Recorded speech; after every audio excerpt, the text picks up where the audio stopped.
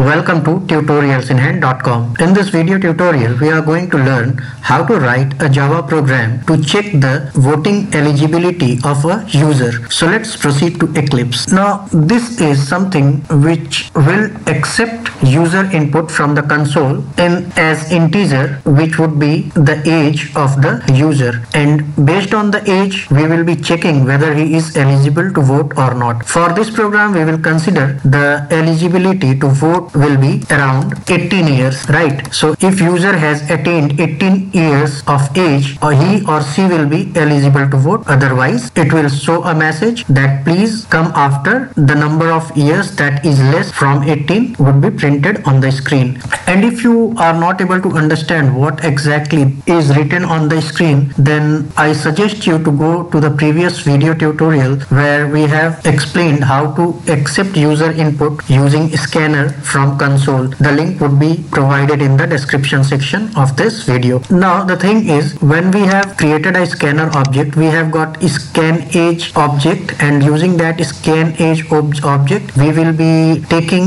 an integer value and the integer value that will be provided from the console will be stored in a integer variable of name age and that age will be storing the value of the age of the candidate right? So we have to check whether the candidate has attained the age of 18 or not. That means candidate should have a age greater than or is equals to 18 right? This should be the criteria that needs to be checked. That is age should be greater than or is equals to. That means is equals to y because even if he has attained the age of 18 he or she will be eligible to vote. And if he or she is greater than 18 then there is no issue the definitely uh, voting can be done. So this is the criteria that should be given in the if condition. So just write if if and within bracket this will be the condition that needs to be satisfied. If this criteria is satisfied and on evaluation this results in true then the body of the if loop will get executed. And the message would be simply type sysO and press control tab. You will get system.out.println and within that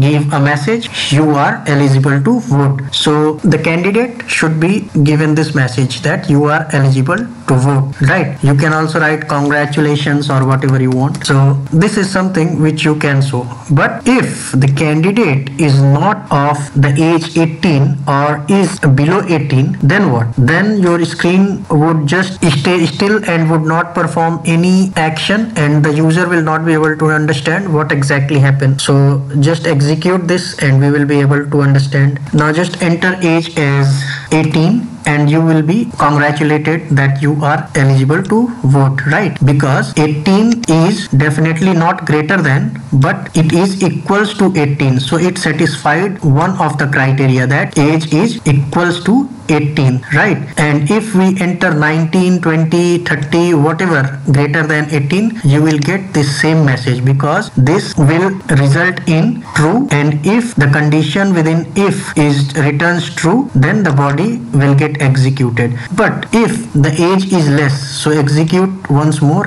and we are giving age something which is less than 18 so give 15 so in this case what happens? Nothing is getting printed. So user will not be able to understand what is the next course of action for him. So this is not a good thing that you are not showing anything to the user after the input has been shown. Suppose you are standing near the ATM and you enter a wrong pin and your ATM machine does not show you any message that wrong pin or whatever. So what you will do? You will will you be able to understand what you need to do so that the system would act according to your instructions? Right. So that is why you need to at least give some message to the user over here so that they might be able to understand what exactly they need to do. In that case what you can do is you can simply use else and within the else block you can give another message like you are not eligible to vote or you are underage whatever message you can give. For now what i will suggest is we will just check by how many years the user is short. So we will take short by this is a variable name short by age and we have got this age. So if the user is short then uh, by how many years the user is short we will just check over here. So just minus the age and we will get by how many years the user is short. So you can now show a message over here not eligible not eligible please come to vote after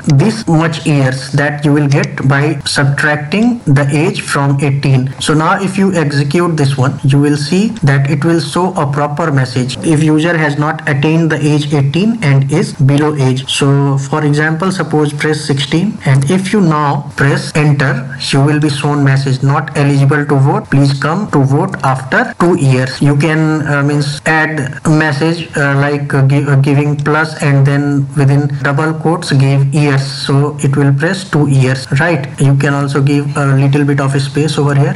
So this is now a proper program where you are showing the user that okay you are not eligible to vote. You can vote after two years right? So this is now a perfect program. And if the user is of 18 or greater then it is obviously fine. You are asking him to cast a vote and then uh, there can be logics written where you will accept his vote. That is an advanced concept we will learn later. But for now you have simply understood that how you can use if else to check the eligibility of a voting. So hope you have enjoyed this video tutorial and have learned something from here. Thanks for being with us till the end of the video. Please like and subscribe to help us motivate